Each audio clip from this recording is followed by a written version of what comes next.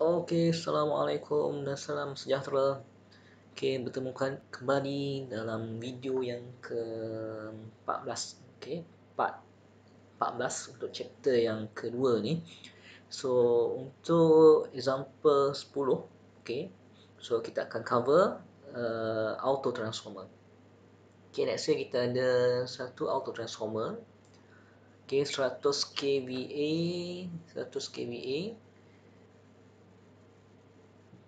200 over 2000 okay step up step up ah. Step up auto transformer. Okay then figure 1 okay.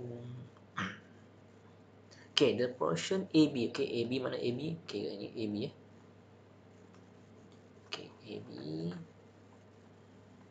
okay portion AB is 200 okay then uh, portion BC is 2000 okay B ke C lah 2000 okay then apa yang kita kena buat lah? Compute the kVA rating as an auto transformer. Okay then calculate efficiency for given losses of 2800 watt losses at 0.866 lagging power factor okay ah kita ada satu transform auto transformer ya eh. Jadi kita akan try solve lah. Pastikan uh, semua dah lengkap paper, pen dan juga calculator. Okay, kita akan solve this one lah. Okay, so first step uh, kena draw balik eh. Draw balik auto transformer tu.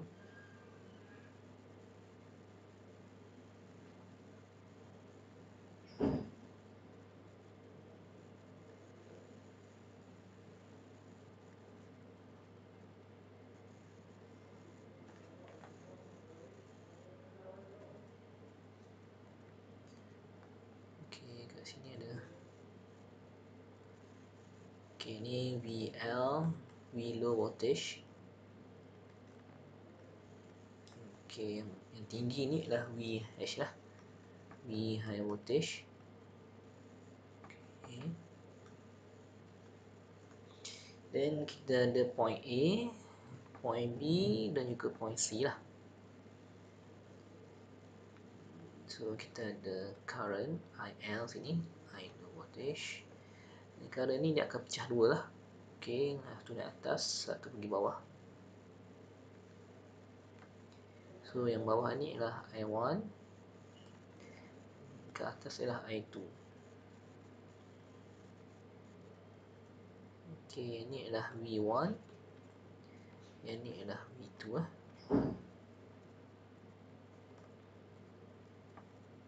so ada current kat sini. Kalau ni I low so kat sini adalah I hash lah. I hash untuk high voltage nya part. Ok so dia bagi tahu tadi ialah portion A ke B. A ke B ialah uh, 200 kan? Dan portion B ke C portion B ke C ialah uh, 2000 watt ok so kita nak kira balik uh, transformer auto transformer kVA okey transformer rating okey seterusnya ialah uh, kita kira dulu current dia ha current setiap part ni kita kira dulu. Kira I1 mana I1 okey current yang flow dekat sini eh. Kat situ yang yang ni IL ini adalah current IL current yang flow ke bawah ni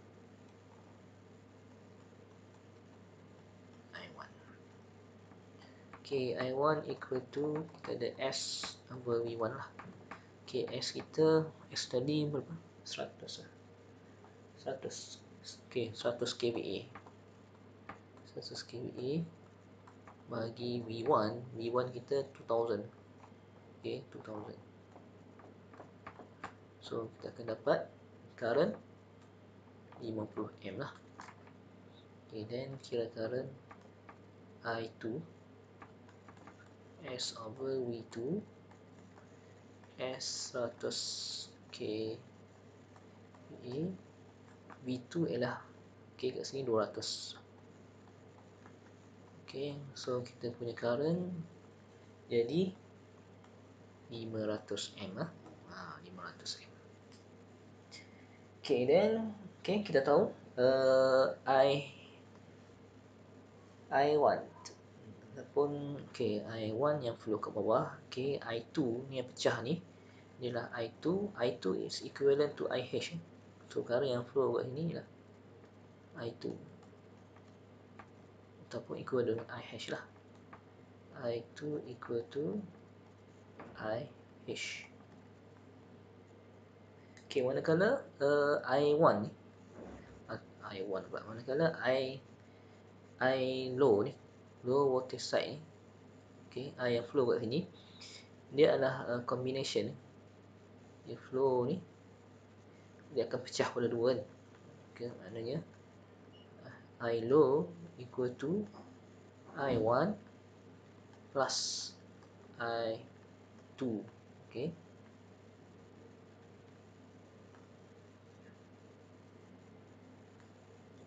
Okay, ni I2 sama dengan IH. So, I2 kita dah dapat tadi. Eh. I2 ni 500.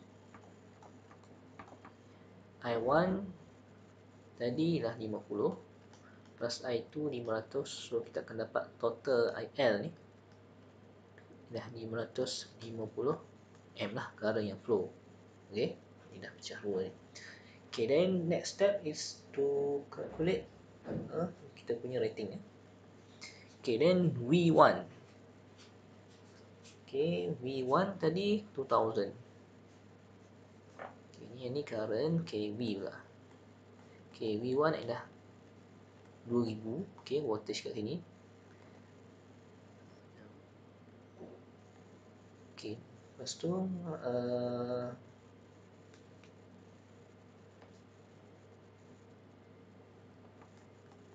okay, V1 ni dia sama dengan V low ha, sebab apa? sebab voltage point sini okay So V1 sama dengan V low.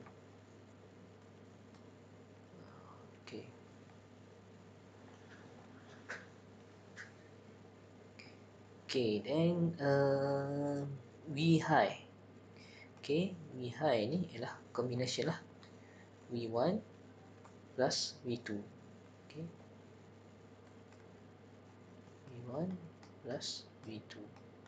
So kita ada V1 2000 plus V2 200 So kita akan dapat 2000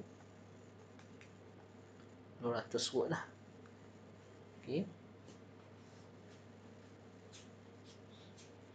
Okay then barulah kita boleh kira uh, apparent power ataupun rating untuk transformer ni Okay so nak dapatkan uh, apparent power yang terbaru VA equal to ini untuk high voltage side eh.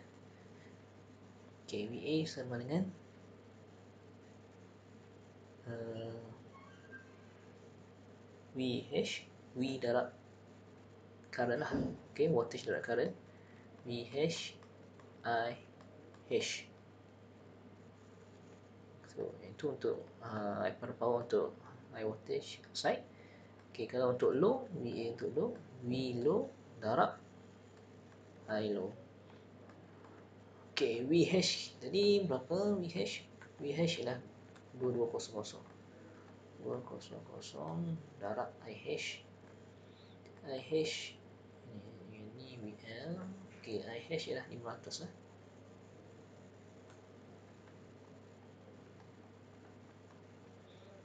So, okay, dapat rating yang baru ialah uh, 1100 kVA ok manakala untuk rating di bahagian low voltage side pula VA low VL ok VL kita ialah 2000 2000 VL 2000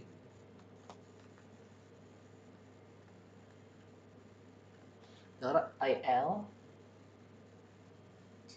IL oh, sorry. IL mana IL ok 5550 IL 5550 so kita akan dapat 1100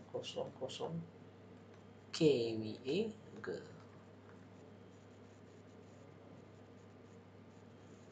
Okay, so kita tengok rating untuk auto transformer ni dia kena sama lah.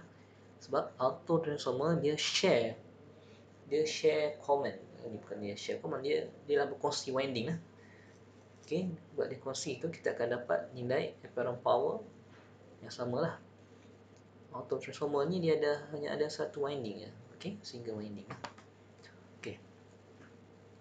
dan kita kena kira efficiency ya. Efficiency. Okay, untuk kirakan efficiency dia ada P out over P in. Okay darab 100% okay so sekarang ni yang diberi losses lah ha, kita ada P losses diberi diberi P losses 2800 watt lah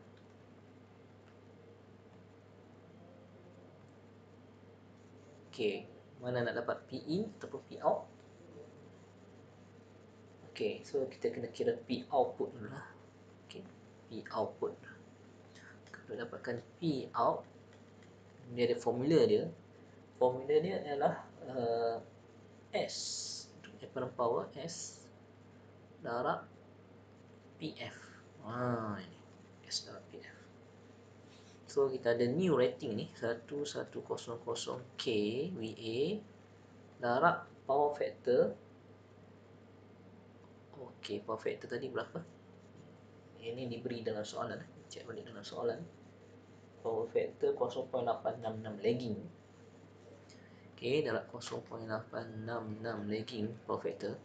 So kita akan dapat P out equal to 952.6 kilowatt.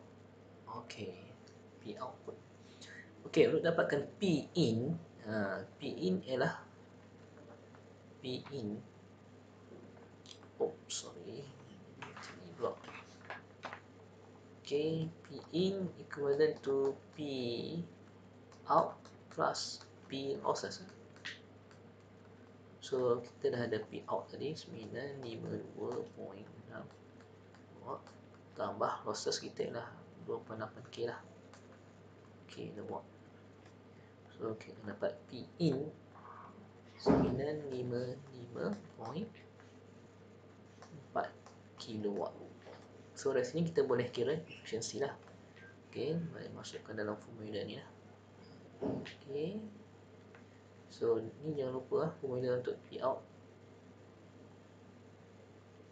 S darab PF ok efisiensi uh, nah, 952.6 so ada mic point pun Tunggu lah Sorry eh Tak cantik eh. 9 52.6 6 kilo Harap 9.55.4 kilo watt dan 100 so kita akan dapat efisiensi ni lah 99.71 persen.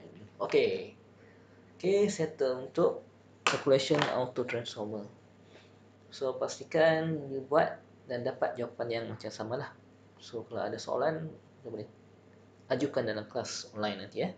Okay, terima kasih. Selamat belajar